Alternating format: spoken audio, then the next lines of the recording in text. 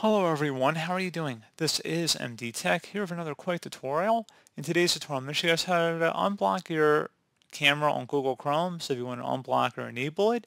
In today's tutorial, I'm going to show you guys how to do that, and this will be on a Windows 11 computer, but should apply for Windows 7, Windows 8, and Windows 10 users as well.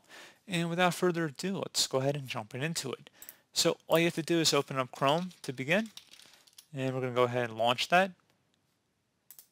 I'm just going to go ahead and select the setting button up at the top right corner of the browser screen. So go ahead and just left click on that. And then you want to select settings. In the search settings field up at the top, type in content settings. So best result should say site settings. Go ahead and open that up. And you want to go down to camera. Go ahead and left click inside of here.